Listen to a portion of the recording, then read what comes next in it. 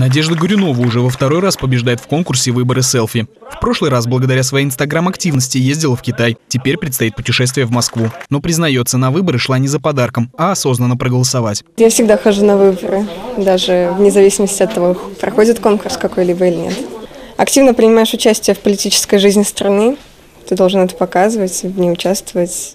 Поощрить молодых людей за гражданскую активность и создать положительную атмосферу вокруг выборов – главная цель конкурса, который в этом году собрал почти 6 тысяч участников. А Если а, молодежь единым фронтом, а, единой позицией отстаивает свои интересы, интересы молодежной политики, отдает тот или иной голос, да, то мы понимаем, что у нас порядка 20% от всего от всех имеющих право голоса, это молодежь. Самарскую оригинальную идею переняли и в других регионах. На выборах в этом году конкурс селфи на избирательном участке провели 30 регионов России. Андрей Горгуленко, Дмитрий Мешканцов. События.